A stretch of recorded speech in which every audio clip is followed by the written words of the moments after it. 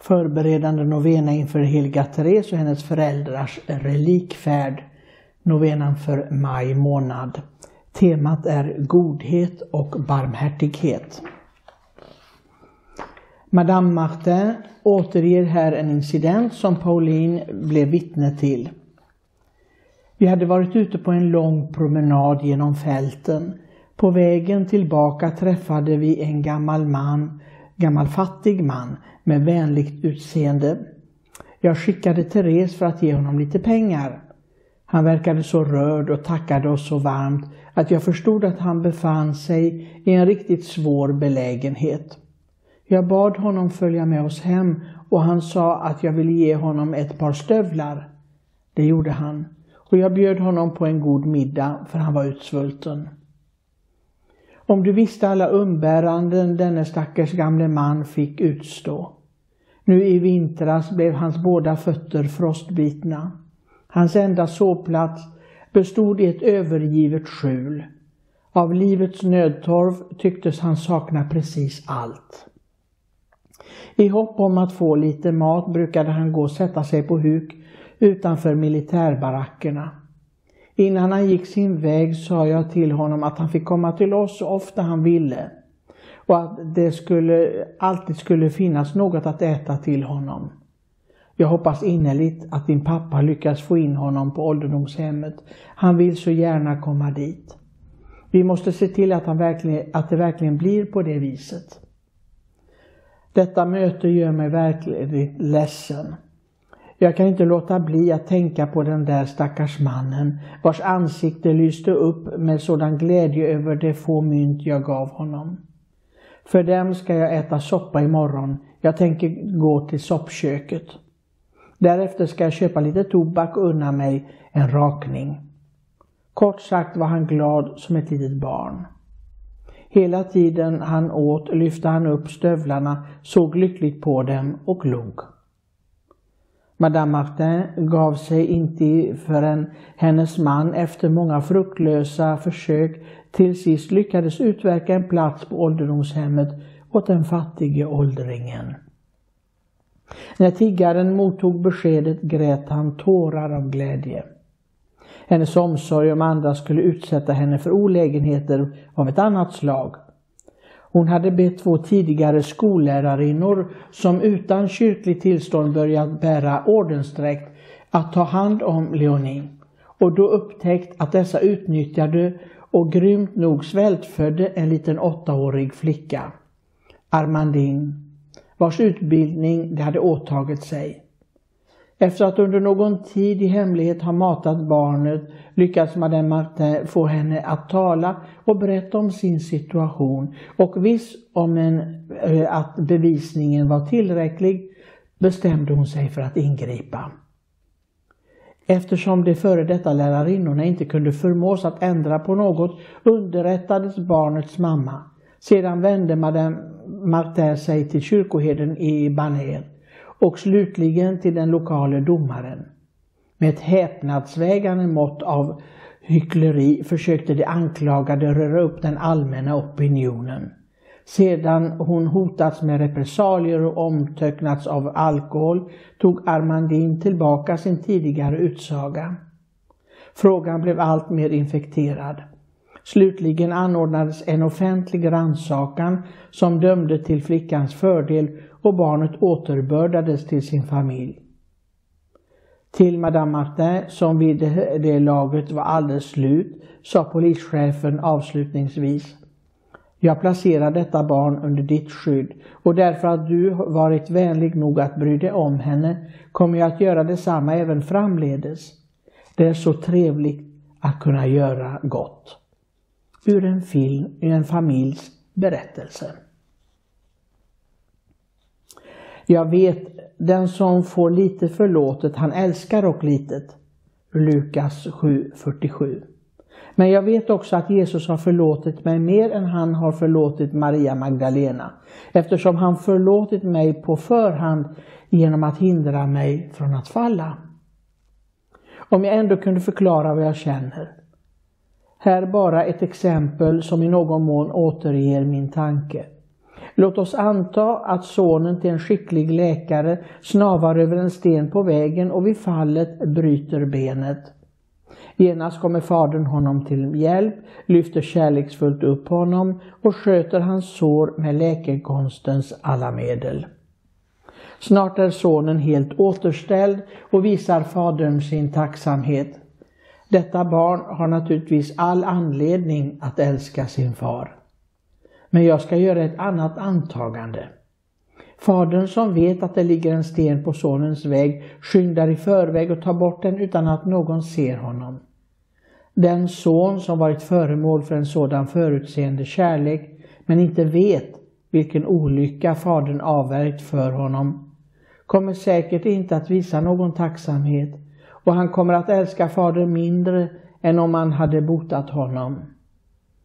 Men om han får veta vilken fara han undgått kommer han då inte att älska fadern ännu mer. Det är jag själv som är detta barn, föremålet för faderns förutseende kärlek. En fader som sände sitt ord för att frälsa, inte de rättfärdiga utan syndare. Han vill att jag ska älska honom därför att han förlåtit mig inte bara mycket utan allt.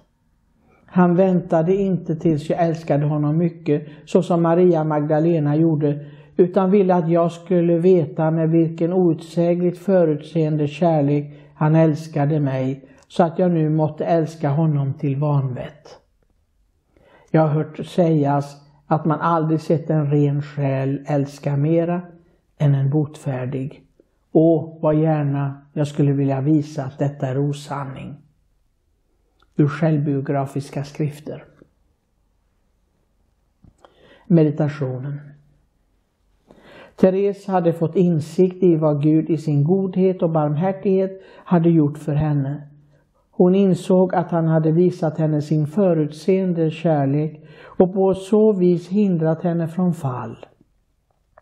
Denna hans godhet kunde hon se just för att hon själv hade undfått godhetens frukt och alltid var benägen att tro det bästa om andra. Benägen att bistå dem i deras tro det bästa om andra. Benägen att bistå dem i deras vardagsbesyr med sina små kärlekstjänster. Hon försökte med varje medel älska Gud tillbaka i sin tjänst och visste då att bön och offer var hennes bästa medhjälpare. Det utgör hela min styrka. Den konkreta barmhärtigheten, generositeten och godhet som familjen Martin visade var frukten av den godhet de själva fått smaka av vår Herre. De visste att det var föremål för Gud Faderns godhet, omsorg och förlåtelse och kunde därför ge den vidare till dem de mötte. Det var inte rädsla för att stå upp för de små svaga i samhället, för dem som behandlas illa och det gav inte bara upp utan följde sina skyddslingar åt till dess en lösning funnits. Böneintentioner för vecka 18 att, det blir uppmärksam, att vi blir uppmärksamma och tacksamma för Guds kärleksfulla godhet som var och en av oss möter i våra liv. Vecka 19. Att vi styrkta av biktens heliga sakrament, där vi får skåda Guds överflödande barmhärtighet, låter denna barmhärtighet bli synlig för dem som vi möter, särskilt i våra familjer. Vecka 20. Att också vi finner vår styrka i bön och offer. Vecka 21 att vi alltmer fylls och leds av den helige Ande, så att den kärlek Gud älskat oss med blir vår drivkraft och Andens alla frukter kommer vår nästa till godo och Gud blir förhärligad. Vecka 22 att de små svaga i samhället får möta Guds egen godhet i andra, han som ödmjukar sig och kommer oss nära. Novenabön till den heliga Teresa av Jesusbarnet och det heliga anletet. Kära lilla Therese, Jesu lilla blomma. Med glädje och tacksamhet ser jag fram emot att du tillsammans med dina heliga föräldrar ska besöka vårt land och hela Norden. Jag ber dig att förbereda mig på ditt besök så att jag kan ta emot all den nåd Gud vill skänka mig genom det. Jag ber dig att be för Sverige, Danmark, Norge, Finland och Island och våra katolska stift här. Lilla Therese, strö dina rosenblad av nåd över våra familjer så att det allt mer liknar din familj. Be särskilt för våra präster och om kallelser till det gudsvigda livet. Be för Karmel i Sverige och i de nordiska länderna. Be för alla barn, de äldre, för de ensamma och lidande. Kära lilla Therese, du som ville tillbringa din himmel med att göra gott på jorden, ta också emot denna min särskilda intention som jag med förtröstan lägger i dina händer.